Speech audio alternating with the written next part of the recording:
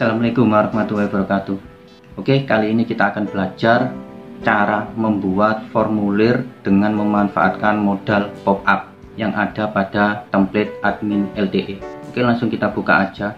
Kemarin project yang telah kita buat yaitu perpustakaan sederhana.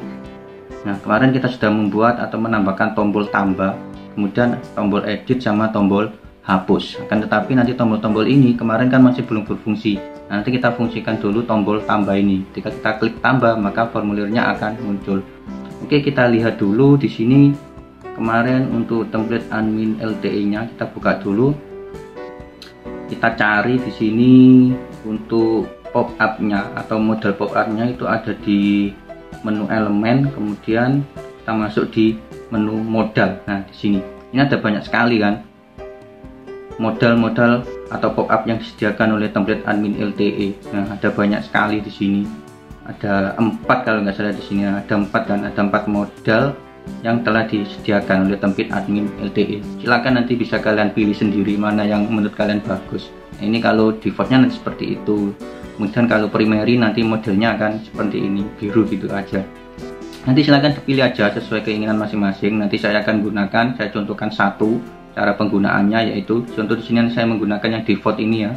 Nanti langsung kita masuk aja di sini untuk foldernya ada di folder page UI dan namanya adalah model.html oke kita langsung masuk aja di folder admin LTE nya kemarin kita simpan di local disk exam. Kemudian kita masuk di htdoc dan kita masuk di admin LTE nya ada di folder page kemudian UI dan tadi namanya adalah modal.html nah ini ya. Kita buka dulu scriptnya nah ini scriptnya sudah terbuka. Kemudian kita buka project kita kemarin yang sudah kita buat. Aplikasi perpustakaan sederhana. Nah, ada di folder view. Kemarin namanya adalah v data buku. Nah ini kita buka juga. Nanti pop up nya modal pop up nya kita masukkan di project kita ini Oke, sini sudah terbuka keduanya. Kita cari dulu, kita buka modal.html-nya. Oke, nanti kita pakai yang ini ya untuk defaultnya ini. Nah, ini nanti, nanti akan muncul seperti ini ya. Ini kita copy aja. Kita cari di source code-nya di coding HTML-nya, kita paste aja di sini. Nah, kita cari. Nah, ini kan. Nah, berarti nanti ini bisa kita copy aja langsung.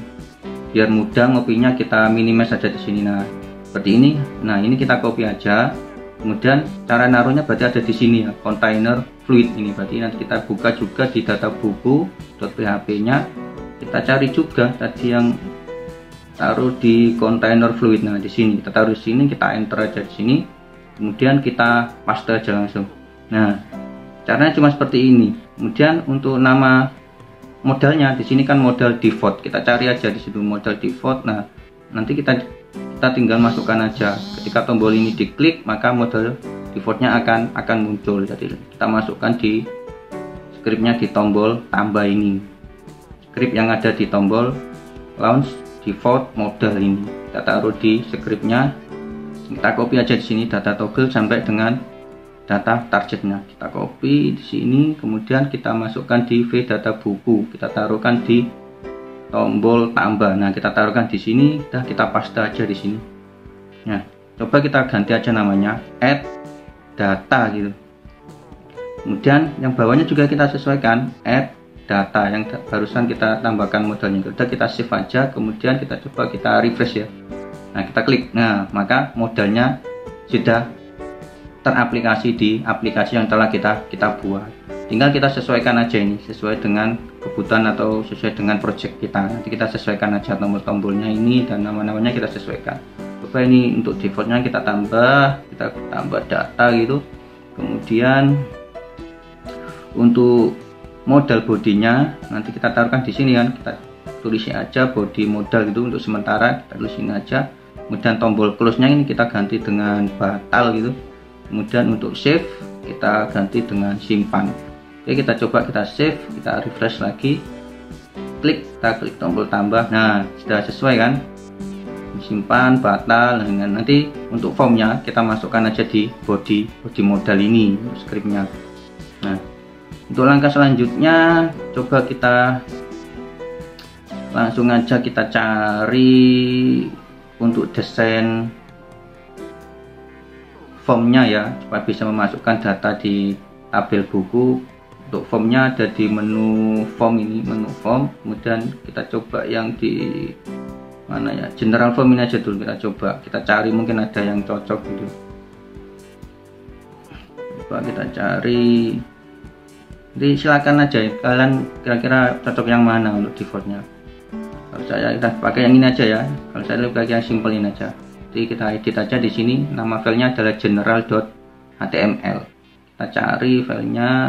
doc kemudian admin lte ada di folder page kemudian form ya. Form namanya ada di general.html kita buka aja di sini. Nah setelah terbuka tadi mau aplikasikan ini kan? Ini bisa kita copy aja kemudian kita search di codingannya. Nah ini sudah kan? Jadi nanti ini bisa kita copy aja untuk desain formnya. Nah ada di form ini. Nah kita copy aja ini semuanya kita copy. Kemudian kita masukkan di body modalnya. Kita kita hapus dulu. Untuk body modalnya ini kita hapus. Dan kita paste aja di sini. Nah cukup hanya seperti ini. Coba kita rapikan dulu. Kalau sudah kita save. Kita refresh coba kita refresh lagi. Dan kita klik tambah. Nah maka formnya desain formnya tadi sudah masuk ke formulir pop-up yang telah kita kita buat. Cukup mudah bukan nah tinggal nanti kita sesuaikan aja. Ini ada tombol-tombol dan properti-properti yang tidak sesuai ini bisa kita sesuaikan lagi supaya nanti bisa sesuai dengan project yang kita kita buat. Oke kita mulai modifikasi lagi. Email ini nanti kita kasih apa ya judul ya. Untuk email kita ganti dengan judul kemudian pengarang tahun penerbit dan dan stok agar sesuai dengan tabel-tabel bukunya. Oke kita ganti dengan judul. Kemudian ini juga kita sesuaikan juga. Kasih nama judul buku. Kemudian untuk emailnya karena tipe untuk input data kita ganti teks gitu aja. Kemudian ini juga kita kita sesuaikan judul. Oke selanjutnya yang oh yang password ini kita sesuaikan. Pengarang. Kemudian ini juga kita ganti dengan pengarang nah untuk tipenya kita ganti teks lagi karena untuk input data biasa. Kemudian ini juga kita ganti dengan pengarang. Passwordnya ini kita ganti juga dengan pengarang buku gitu. Oh ini masih ada ketinggalan ini. Kita ganti tadi judul. Oke dari sini untuk yang tidak perlu ini kita, kita hapus saja. Yang tidak diperlukan bisa kita hapus saja. Kalau kita, kita save kita refresh lagi. Dan kita klik. Nah di sini sudah sudah sesuai ya. Tadi judul sama pengarang tinggal nanti kita tambahkan aja kekurangannya. Oke kita close dulu. Nah tadi tinggal tambahkan tahun penerbit dan stok. Oke bisa langsung kita copy aja dari sana kita paste di bawahnya. Oke kita ganti tahun kemudian ini kita ganti tahun juga.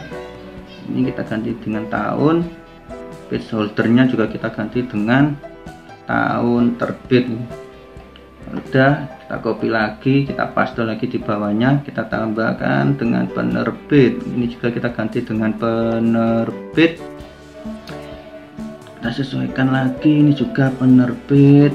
Page holdernya juga kita sesuaikan dengan penerbit buku gitu. Oke yang terakhir kita tambahkan lagi stok ya tadi. Input stok kemudian labelnya stok ini juga kita ganti dengan stok dan placeholdernya kita ganti dengan jumlah stok oke kalau sudah kita save aja kemudian kita masuk lagi.